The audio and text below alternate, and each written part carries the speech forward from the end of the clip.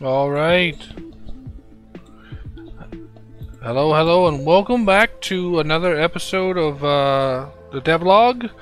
Working on these, uh, this uh, Terraria fan game project I'm making, and uh, let's uh, show you something. I haven't done much on world building, but there is gonna decided um, that I'm going to use the items in the the Terraria items in the game to build a uh, player shop uh, of sorts, so you can, uh, you know, you go, you fight uh, enemies, you go out, you bring items, you set it on the table, and it will sell. Uh, I, I'm thinking of two ways I could do the selling. One is what I have it already. Is when you set an item here, it auto sells. Or two, uh, two, it could be when an NPC walks by, and once they collide with that item, boom, it sells or there's a chance for them to buy the item. Uh, that's the two easiest ways I can think of doing it.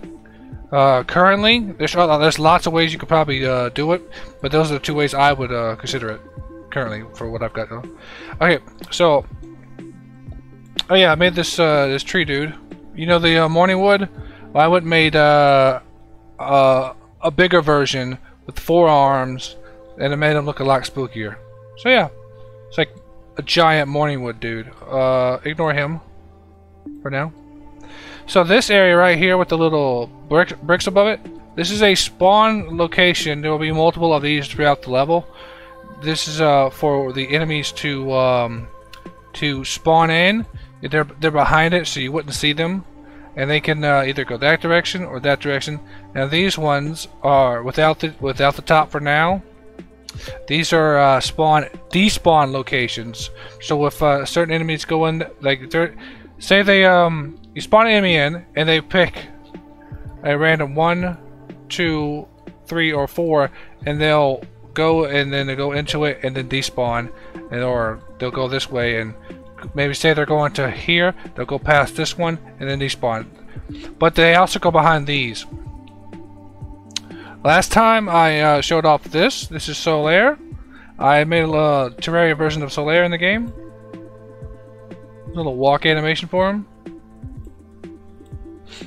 And uh, yeah, pretty cool. Uh, this is all stuff from the I haven't really messed with from the first video.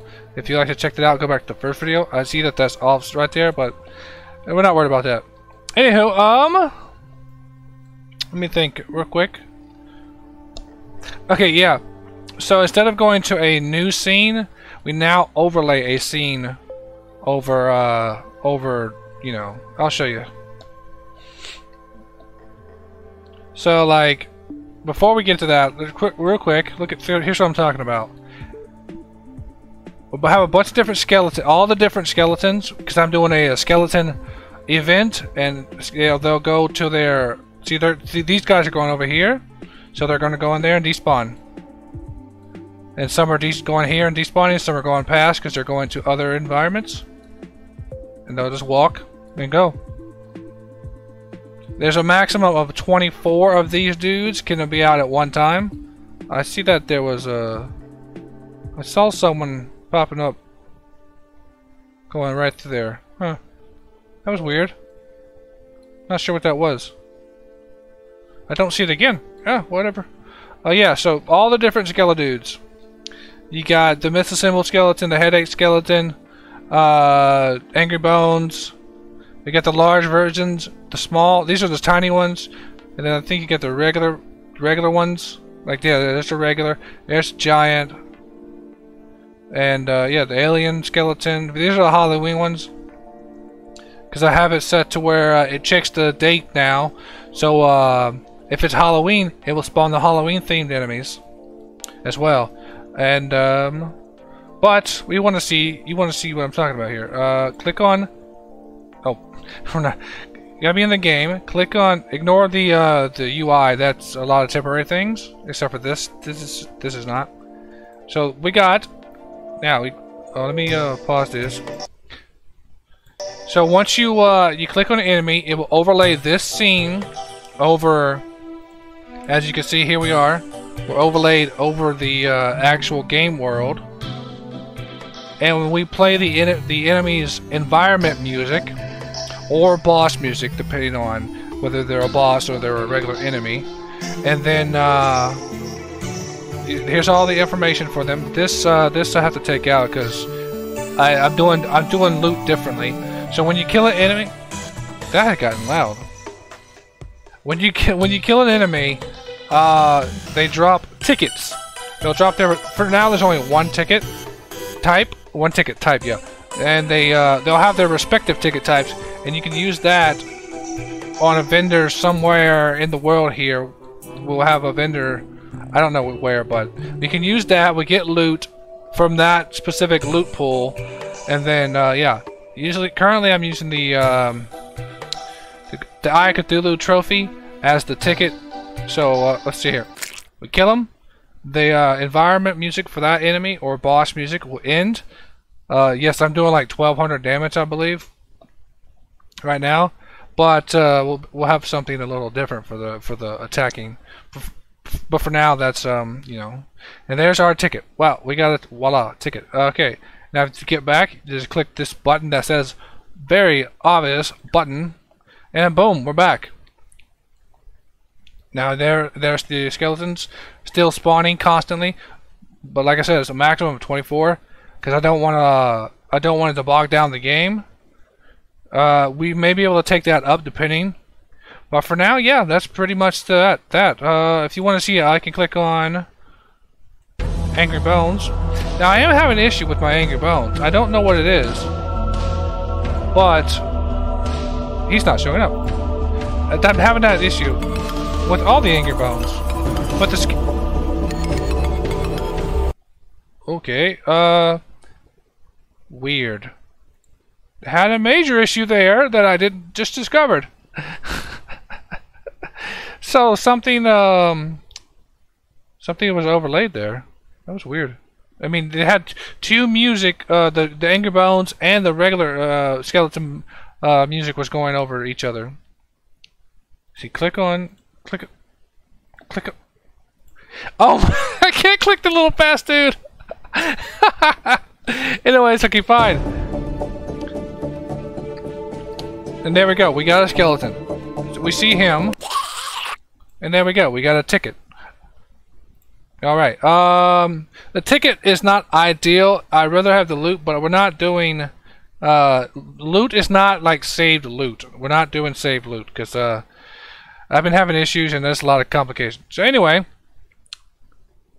let me show you where, where are the where are my enemies? They're in prefabs. Uh, green slime here. Okay, let's uh, this one or was it a different one? Was it you?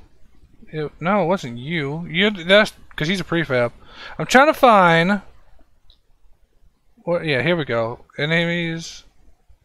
Green slime. All right. See, for music, uh, th like this green slime. So normally you see them in the forest, right? So we got the forest, overworld night. Uh, the town night. I use that just to add a little extra uh, variance to the uh, to the green slime. And then we got the uh, Forest Night Otherworld, or Otherworld, Otherworldly, because you know they have the uh, Otherworld tracks uh, from the canceled Otherworld game in the in Terraria. So we use some of those just to, like to give it a variant, to not to have the same exact uh, track every single time. And the same goes for like Demon Eye has the same music because, uh, well, Demon Eyes can be really anywhere at night, but I just you know you can't really use every single. I'm not going to use every single track for you know like o o overworld um, corruption or surface corruption or whatever. Then like for the boss here, now he's got boss one and uh, boss one otherworldly, and then on the old gen he used to use boss five. So I'm also using boss five because I play Terraria on like Xbox 360 a lot. And I remember some bosses, like Ocram, was one of my favorite bosses, and he's actually uh, it's in my uh, testing area. Right there. Bam. Ocram. Phase 1, Phase 2, and a Servant of Ocram, and a bunch of other crap I got in there. Yes, I'm bringing back Ocram, because I love him. Anywho, uh, that's uh oh. Before we do that, let's me. Where's all that extra stuff I had? Um, shop. It was all this. Yes, a bunch of different uh bacon. I had. I had a bunch of bacon here, with little menus above them, so we can uh. I wanted to see. I was testing to see whether they uh drop and you know for uh, physics. So, yeah, they all just drop and fall over, and well, that the towers, little, little towers are gonna knock each other over, and and all that. Anywho, don't worry about that. Right now, so this is the uh, the shop menu, right? Our shop request, because eh, the shop will have uh, a request. So, like, say they want bacon too, which is this bacon. You can drag. Yes, you can drag and uh, drop these things. Voila. But uh, I just took the, the regular bacon and made a red bacon, so I could test two different items. You know, so we can drop this on here. I know this little. This is awkward. I need to figure out a better way to have this uh, bar. And then there you go. Bacon two has been sold. We can drop multiple bacons on there. Oh, bam. Alright. And it's supposed to. And now, yeah, that's what it is. And then there's, uh, it'll randomly pick another item when it sells. This is the current setup, though. I might change it to the other way I described it. Yeah, now bacon. You can just shove all these items on here. And they have a, a square hitbox. I might change it to uh, something else. But for now, yeah. That's that. These are the uh, current things that I'm doing and working in progress. Uh, uh, if you're not fully understanding, there won't be, you're not going to be a player walking around the world. You're the camera here, right? So you're going to be able to interact with things like drag the bacons around and drop them onto the table. You'll be able to click on an enemy and attack, go to the attack uh, menu and attack them. The attacking will be a lot better than just clicking on them. I'm going to have something there for that. And yeah, that's that. And this wall is the uh, the dynasty wall, right? It's a little bright. So I might uh, I might change that wall. And I might uh, I gotta I, there's things I gotta fix. But for now, thank you for watching. I really appreciate it. If you like what you see, maybe drop a like or subscribe. Uh, I do daily in-game content, and every so often I do devlogs for this and maybe other projects I have in the works. And I will see you next time. Peace out, peeps!